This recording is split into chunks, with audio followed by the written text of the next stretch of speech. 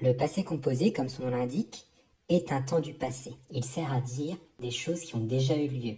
C'est d'ailleurs le temps du passé qu'on utilise le plus à l'oral. Et comme son nom l'indique toujours, c'est un temps composé. C'est-à-dire que le verbe conjugué n'est pas en un seul mot, mais en deux mots. Il y a d'abord l'auxiliaire, qui est le verbe être ou avoir qui est conjugué au présent, et aussi le participe passé.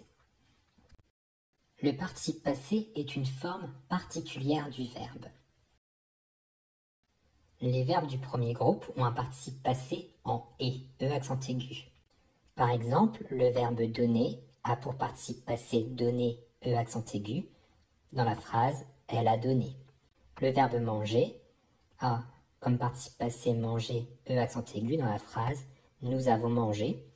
Et le verbe parler a pour participe passé parler, Accent aigu dans la phrase Ils ont parlé.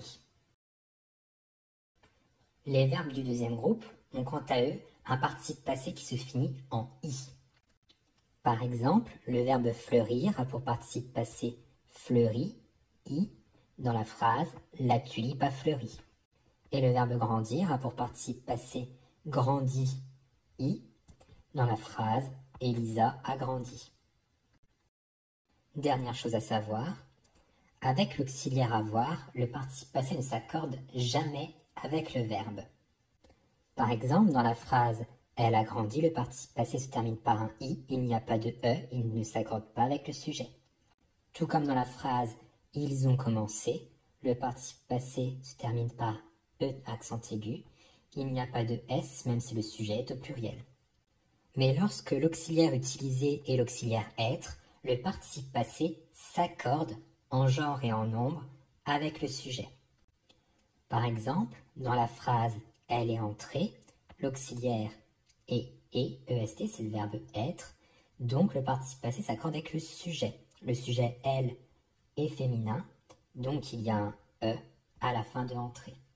Dans la phrase ils sont tombés, l'auxiliaire est encore être, le sujet c'est avec un s, il est au pluriel, donc tomber prend un s. Attention, pour certains pronoms personnels comme je, tu, nous, vous, il faut se demander qui est représenté par le pronom personnel. Par exemple, dans je suis retourné, si je est un garçon, retourner s'écrira seulement e accent aigu.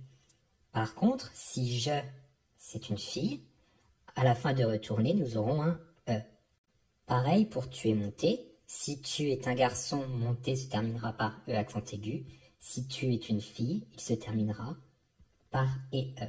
Enfin, pour nous sommes arrivés, si nous, ce sont des garçons et des filles ou que des garçons, il y aura un S. Par contre, si nous, c'est plusieurs filles, il y aura E, S à la fin du participe passé.